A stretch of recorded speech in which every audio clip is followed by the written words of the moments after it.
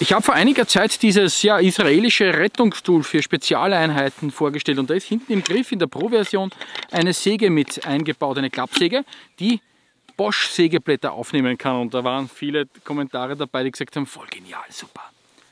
Jetzt gibt es leider diese Säge nicht einzeln zu kaufen, aber ich habe mich ein bisschen umgeschaut, welche andere Kombinationen möglich wären und habe das hier von Stanley gefunden. Das ist auch ein wechselbares Sägeblatt. Ob so etwas für den Outdoor-Bereich ja, sinnvoll ist, das finden wir gemeinsam heraus. Hallo, willkommen, da ist der Reini Rossmann vom Survival Shop Überlebenskunst. Schön, dass du dabei bist. Das Teil habe ich vor einiger Zeit vorgestellt, da habe ich auch die Säge dazu vorgestellt, mache ich jetzt nicht mehr. Oben beim i-Klicken, wenn dir das interessiert, Spezialeinheiten, Rettungstool, großer, großes, großes Feedback, Ding cool, leider zu teuer, Gut, muss man dazu sagen, hat auch, hält ewig extreme Materialien, aber das ist gar nicht der Punkt, sondern es geht um die Säge. Und zwar gibt es eine Säge dazu, schaut das bei mir oben an, ja, wo man ein Sägeblatt von Bosch einbauen kann. Und jetzt habe ich gesucht auf Amazon, das ist von Stanley, gebe da unten den Link auf Amazon, dort habe ich es auch, auch her. Und da kann man auch dieses Sägeblatt hier auswechseln. Und das interessiert mich jetzt, ob das vielleicht etwas für den Autobereich ist.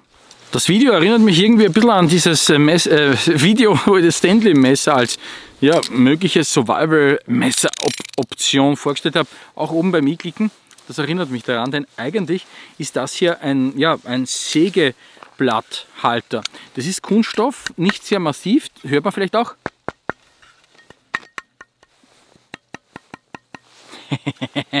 also das ist jetzt nichts, wo ich sage, okay, äh, ja, das ist stabil. Also wenn man da mal so richtig, wenn da was drauf fällt oder so, ist das sicherlich äh, kaputt. Man schaut das an, das, das, die, die, das ganze System ist ja nicht so toll. Hier hinten, da ist eigentlich da ein Fach, wo man Ersatzsägeblätter reingeben kann. Ich muss dir aber etwas sagen. Ich weiß nicht, ob ich einfach zu blöd bin, was gut möglich sein kann. Oder das Ding, das ich von Amazon gekriegt habe, ist kaputt, denn ich kriege das Fach nicht auf. Ich bin, ich weiß nicht, ja. Obwohl, ich, meine, ich bin sicher nicht stark, genau, nicht, aber so eine schwache, so ein schwacher Eierbär bin ich dann auch wieder nicht. Ich kriege das nicht auf, aber in der Produktbeschreibung, schaut euch das an, steht, dass man, das, dass man da weitere von diesen Sägeblättern, die es natürlich auch äh, zu kaufen gibt, hier hinten reingeben kann. Das heißt, das wäre jetzt sozusagen die Option, dass ich sage, okay, äh, ist dieses Sägeblatt hier durch, ähm, nehme ich das nächste. Aber bleiben wir gleich beim nächsten. Das ist ein Metallsägeblatt. Zumindest interpretiere ich das so, ich bin ja kein Maschinenbauer. Äh, aber wenn das ein Metallsägeblatt ist, dann ist es natürlich nicht so cool zum Nacharbeiten und ich konnte kein Holzsägeblatt dazu finden. Ja, äh, soll so sein abgeschraubt werden kann, kann mit einem Philips, also mit einem, einem Kreuzschraubenzieher, das ist alles kein Thema, also den muss man mit dabei haben. Und da stelle ich mir halt dann wieder die Frage, ob das wirklich so cool ist, wie gesagt. Ja. Wir werden das sehen.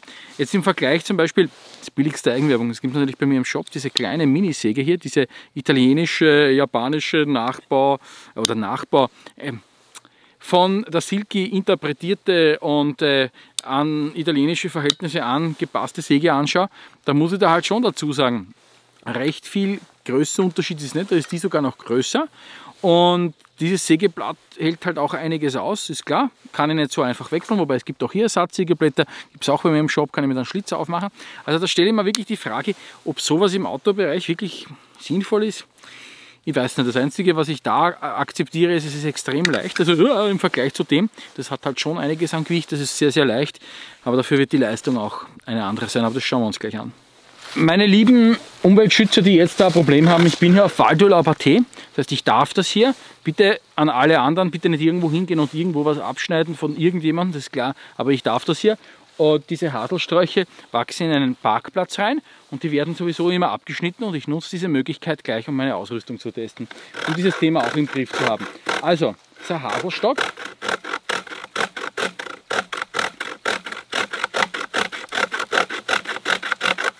Geht eigentlich ganz gut, muss ich sagen.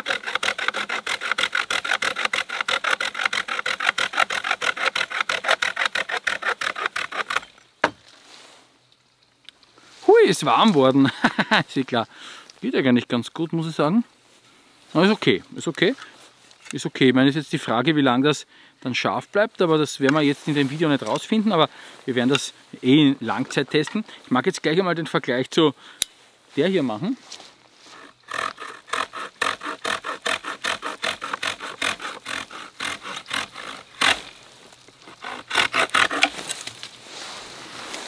Beißt schon mehr, muss ich schon sagen. Wie gesagt, das ist natürlich einiges an Gewicht, aber meiner Meinung nach, weil da die, einige Kommentare bei diesem Israeli-Ding, wie gesagt, ich habe da beim i oben den Link gegeben, haben gemeint, ja, da nimmt man sich doch einen so einen Halter, das ist viel gescheiter als irgendeine andere Säge, das ist, ist alles viel gescheiter und sowieso und überhaupt. Schau, also meine Meinung ist dazu ziemlich einfach, ziemlich einfach. Ich meine, du hast jetzt gesehen, die beißt viel besser als die hier und daher ergibt sich folgendes Bild.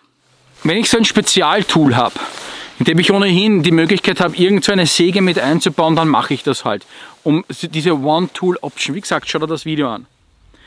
Aber jetzt etwas, was eigentlich für den Handwerker gedacht ist, für den ja, Handwerker Indoor, für Outdoor zu gebrauchen, ist möglich, ist okay. Und besonders wenn ich es eh daheim habe in meiner Werkzeugkiste und ich sage, ich möchte jetzt nicht gleich, wobei die ist nicht so teuer, schau es da an in meinen Shop, ja. Äh, und ich will nicht, ich will einmal Bushcraft ausprobieren und Survival Training einmal ausprobieren und so Natur halt mit Bauen und so weiter. Und ich will nicht gleich x Euro ausgeben, sondern ich habe eh was daheim, dann ist es ja okay. Aber wenn ich keine Säge habe und mir überlegen will, ich möchte eine halbwegs vernünftige Ausrüstung zusammenstellen, dann wäre meine erste Wahl sicherlich nicht so etwas, was für den Indoor-Bereich gedacht ist. Es geht, haben wir gesehen, und es ist auch durchaus in Ordnung und es hat auch seine Berechtigung, so wie ein Stanley-Messer seine Berechtigung hat als Survival-Messer, wenn ich nichts anderes habe. Ja.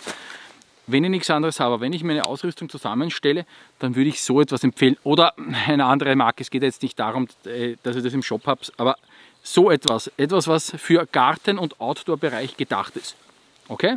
Das ist meine, ja, meine Meinung ganz einfach dazu. Ja, das war's jetzt. Also, wie gesagt, ist so meine Meinung dazu.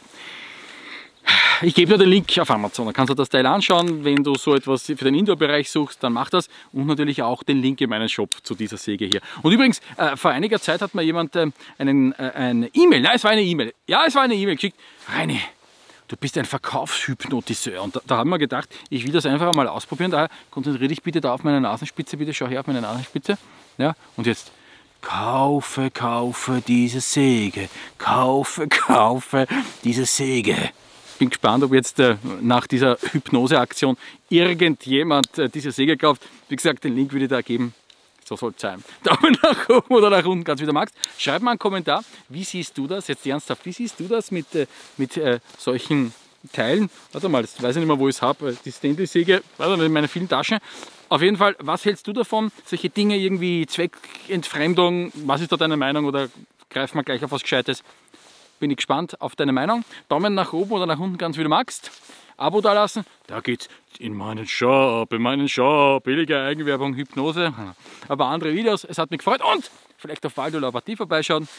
Dann kannst du deine Segen auch ausführen. Ciao, ciao.